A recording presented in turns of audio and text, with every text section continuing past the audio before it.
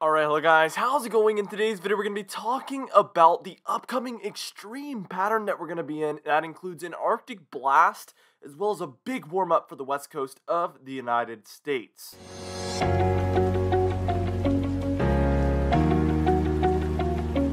Now, anyway, for today's comment of the day, I want to know, how do you think this upcoming summer is going to go? Let me know in the comments down below, and I'll be picking one of those for tomorrow's video.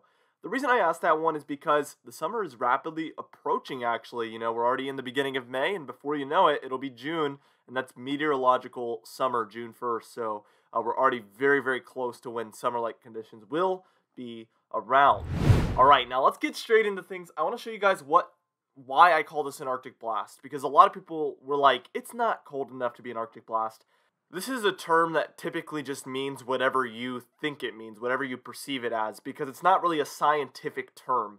Uh, but I think the best description of what an Arctic blast is is an air mass that comes from the Arctic regions of the world. Uh, and here's a picture of where this Arctic blast was at on April 27th after it had moved out of the Arctic Circle. You can see it's up there in northern Canada, right next door to Alaska. And then by the time we reached May 5th, this reached all the way down into the United States. So for me, I don't really even care how cold it got. Uh, I'm more just looking at did it come from the Arctic? Because if it got super cold and it didn't come from the Arctic, how could you call that an Arctic blast? It's not even from the Arctic regions. Uh, so it's more about where it came from and where it comes uh, rather than how cold it gets. I hope that makes sense. That is definitely uh, my perception of what the definition of an Arctic blast is, and I think it's the most accurate depiction as well. Uh, but again, it's all just it's just whatever you make it because it's not really a scientific term at all. Now let's just take a look at the day one temperature anomalies. This is going to be through the day today.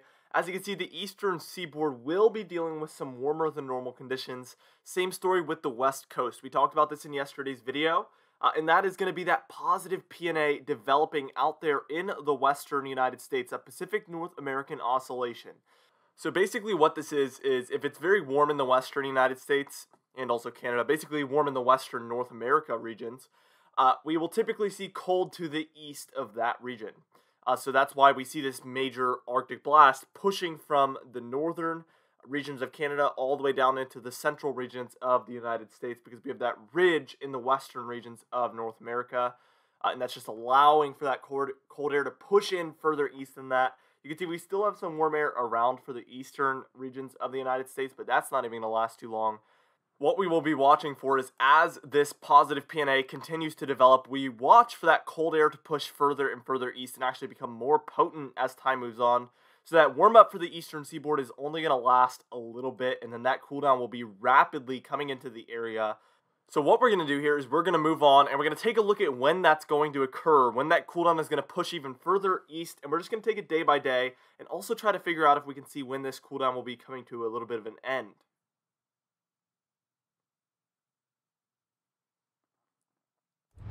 Now, by the time I'm reaching Thursday, May 6th, tomorrow from the time I'm making this video, you can tell that that positive PNA has become even more uh, just established there for the western third of the country there, and that cooldown has pushed even further east. We see plenty of those greens going on for the upper Midwest as well as the Ohio Valley, and that's going to be where we're 10 to 15 degrees below normal, which is quite potent.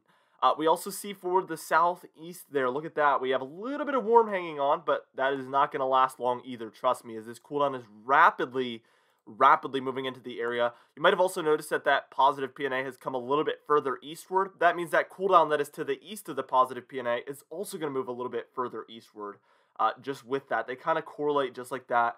Um, and and the minor things like that that you noticed are going to have a very large effect on where these air masses move to. So it's it's a very interesting way it works, and once you fully understand it, it's so fun uh, to just watch these patterns take place. And I love my job. I love my job. So let's take a look at what this weekend has in store. Let's start out with Friday. That's going to be May 7th.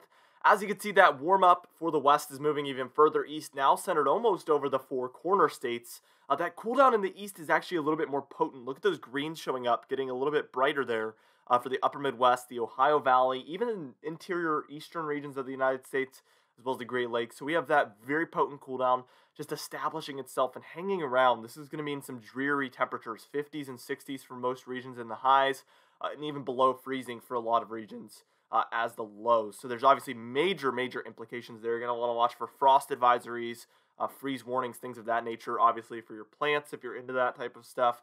Uh, you're definitely going to be wanting to pay attention, especially the further north you are. Uh, that's going to be obviously huge. Now, look at the West Coast. We have a little bit of blue showing up for the West Coast. Does this spell an end for our positive PNA? Could this mean warm temperatures could be back on the way for the eastern United States? Obviously, only time will tell, so we're going to have to watch that very, very closely, as that could mean that we're coming to an end for that positive PNA. Uh, very huge implications there. Now, what we're going to do is move on towards Saturday, May 8th. So let's take a look at that. And as you can see, the northwestern United States fully it cools down up in those regions, and this could mean that we're coming to an end on that positive PNA, uh, which obviously a lot of people are probably hoping for.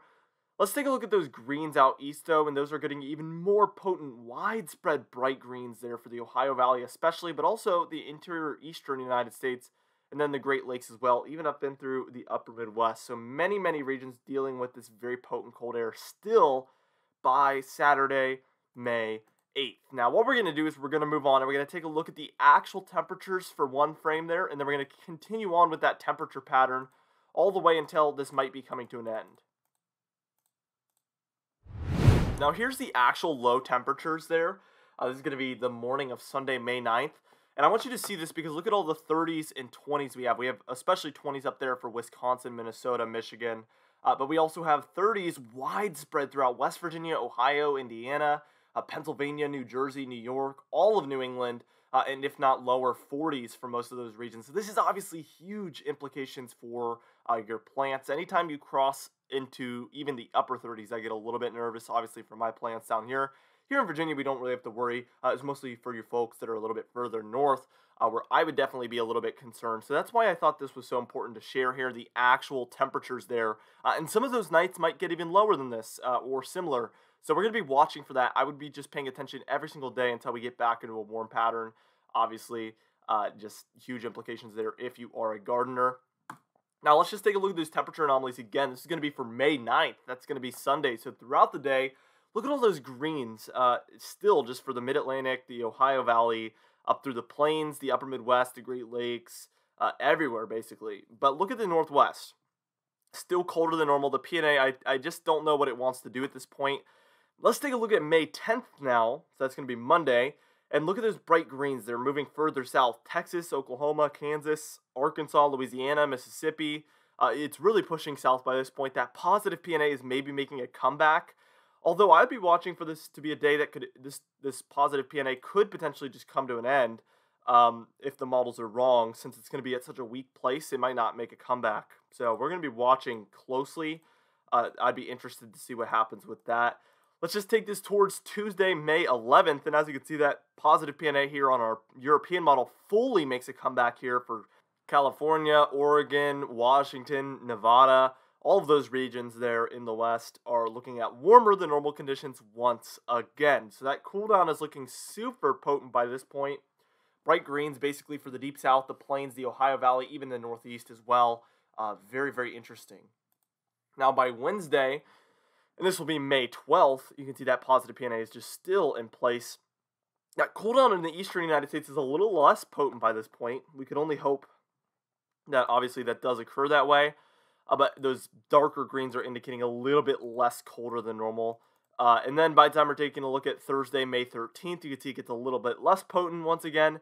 And then by the time we take a look at Friday, May 14th, uh, it's getting even weaker, but still around according to this model. Obviously, this is 240 hours out, so we can hope that this is maybe just inaccurate. Obviously, towards the end, that confidence is going to be a little bit lower. Anyway, for today's confidence tab, we are at a 5 out of 6. I'm fairly confident that this is going to be around basically through the first half of May. Uh, colder air in the east is going to be basically the definitive pattern uh, for this first half of the month, unfortunately. So, yes, I am quite confident in that. Anyway, for today's comment of the day, I asked you guys, um, when do you think we will start to warm up this month? And James Marr said, I believe in the second half of the month it will begin to warm up. It might be hopeful thinking, but I think I agree for the most part as well. Anyway, for today's patron, Highlight of the day, I want to thank you all for supporting the channel, but especially our platinum patrons, Property Damage, John Bennett, James Wade, Dovey Nagel, Alan Balemo, Adam S., Larry the Pan, Donna Carnes, Cameron Marshall, and Ada Mattis. Alongside our diamond patrons, Bill Roberts, Alan Cherer, Marcus Connolly, Noah Harley, Michael Cotalessa, Michael Buell, Catbite, Charles Stinnett, Kellen Manhart, It's Jay, Cindy Klein, Mark J, Luke Legos, Gary's, and John Quilisi. If you would like to be a part of this Patreon end screen today, you can do so by joining our very exciting Patreon page in the description and in the pinned comments down below. I would also like to thank our channel members, Weather Top Dog Hair Farms 1, and then our super fan, Phoenix Nimitz. If you would like to join our exciting channel membership, you can do so by clicking that button next to the subscribe button down below. Anyway, guys, thank you so much for watching this video. Be sure to absolutely destroy the like button, leave a bunch of comments down below, and be sure to subscribe if you like weather-related content. I will see you guys in the next video.